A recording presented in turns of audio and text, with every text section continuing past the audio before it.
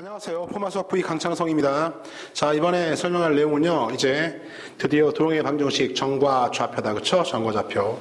그래서 이제 드디어 중학교 때 배웠던 유클리드 해석, 유클리드 기하를요, 좌표로 옮겨서, 좌표로 옮겨서 얘기하는데, 가장 기본적인 도형이요, 점, 선, 그 다음에 면, 이런 도형들이 있는데, 이제 우리가 평면상에서 놀 거니까, 점과 선에 관련된 이야기를요, 점과 선을 평면에서 얼마든지 놀 수 있게 할 수 있잖아. 놀게 할 수 있잖아. 그쵸? 그러니까 이런 칠판 같은 평면이요. 평면, 평면상에서 이제 좌표 하나 부여하는 것, X축, Y축. 보통 X축, Y축 많이 쓰죠? 이렇게 원점, X축, Y축.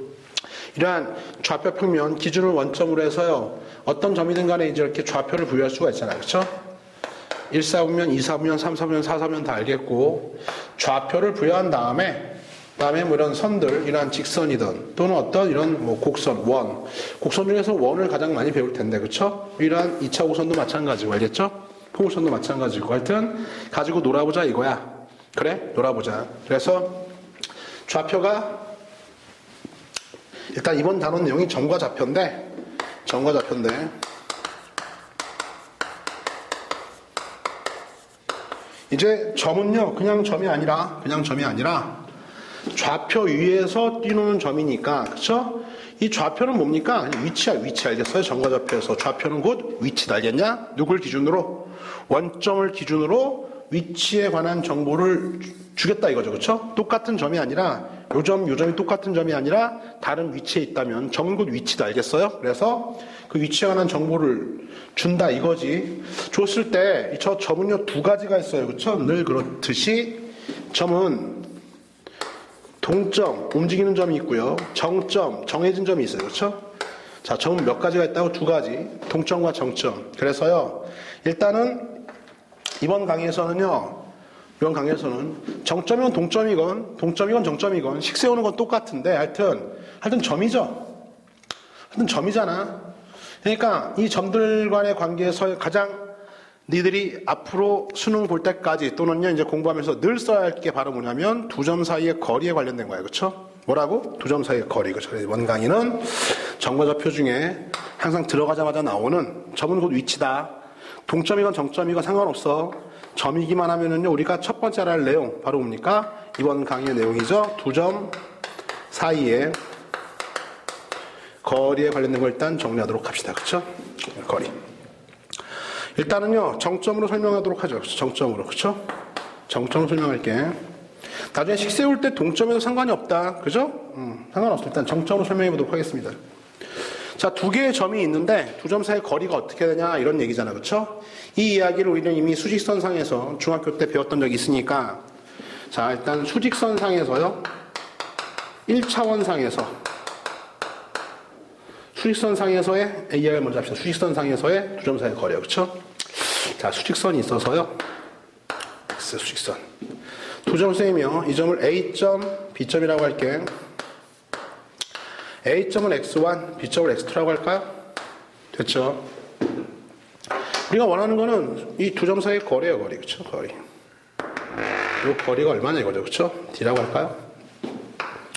자, 아, 이건 뭐 미리 얘기하는데 앞으로 수학에서 거리는요 별 말이 없으면 무조건 최단 거리야. 수학에서 거리는 별 말이 없으면 무조건 최단 거리야, 그쵸? 최단 거리, 그죠? 최단 거리. 이 거리를 말하고 있죠, 그쵸? 이 거리. 수학에서 거리 뭐다? 최단 거리다, 그치? 따라서 이 거리는요 쉽죠? 예, 어떻게? 우리 수직선상, 수직선상에서는 더큰 좌표에서요 작은 좌표를 빼주면 되잖아. 수직선은 변수가 하나밖에 없기 때문에 좌표도 하나만 표현되면 돼요. 그렇죠?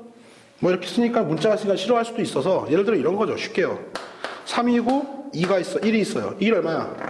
2잖아. 이거 길이 2인 거 어떻게 알았어? 3에서 1 뺀 거지. 그치? 3에서 1 빼면 2 나오잖아. 그쵸?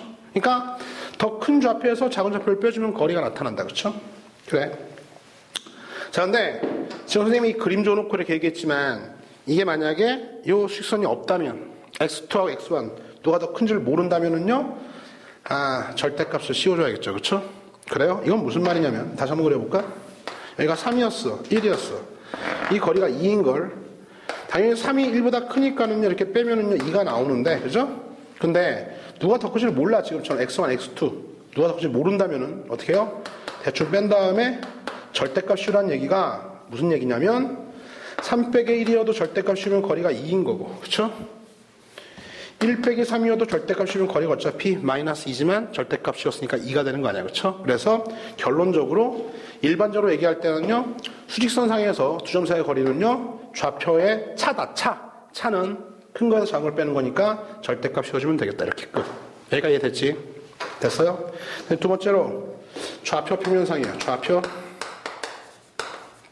평면상에서의 두 점 사이의 거리입니다. 그쵸? 자, 이제 좌표를 한번 갖고 옵시다. 좌표를요. 자, 자.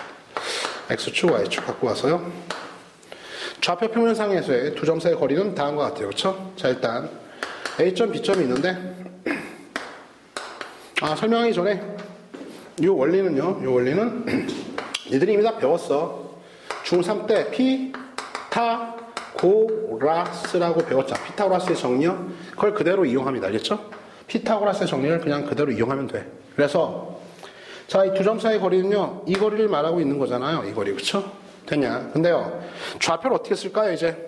좌표 평면이니까 순서상으로 표현해야 됩니다. x1, y1 얘를 x2, y2라고 할때 알겠죠?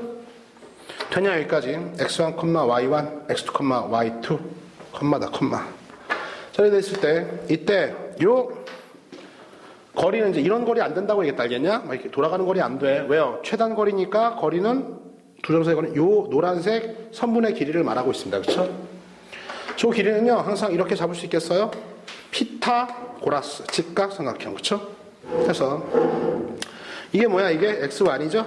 이게 뭐야 x2잖아. 따라서 요 거리가 얼마니?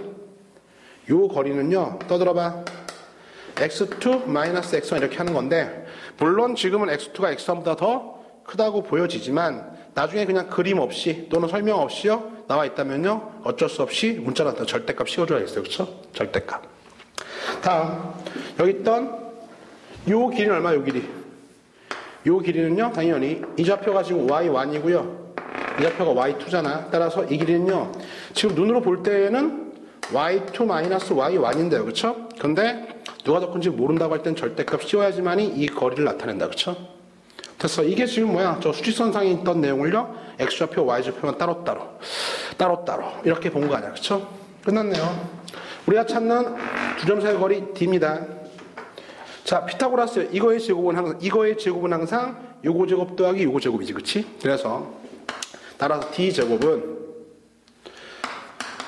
아, 자 이거의 제곱 이 길이의 제곱 더하기 요 길이의 제곱 이렇게 돼요 얘 같죠?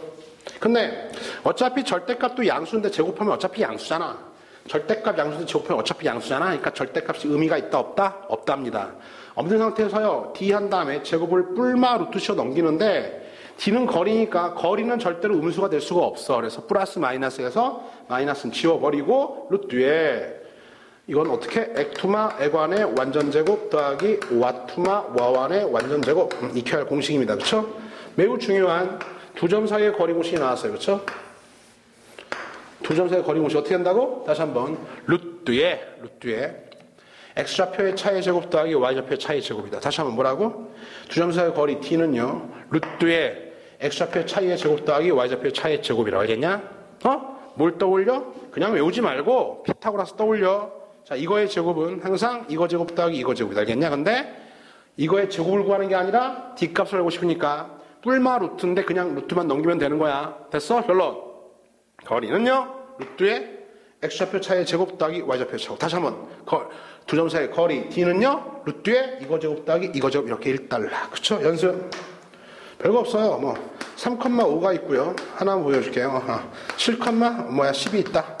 두 점 사이의 거리 어떻게 돼요? 거리는 루트에 x2 x1 4, 4, 4의 제곱 더하기 y2 y1 5의 제곱해서요 16, 25 얼마니까 루트 얼마 루트 40 이렇게 두 점 사이의 거리를 쉽게 구할 수 있어야 된다 알겠죠?